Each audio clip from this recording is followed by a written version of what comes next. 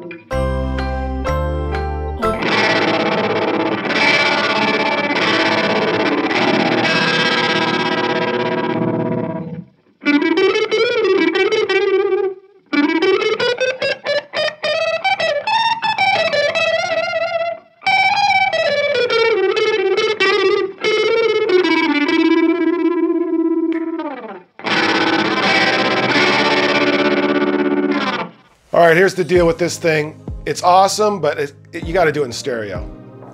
Mono is just not getting the full effects. So I'm going to review this again when I get some kind of stereo or wet dry rig because I'm not getting this thing's full potential.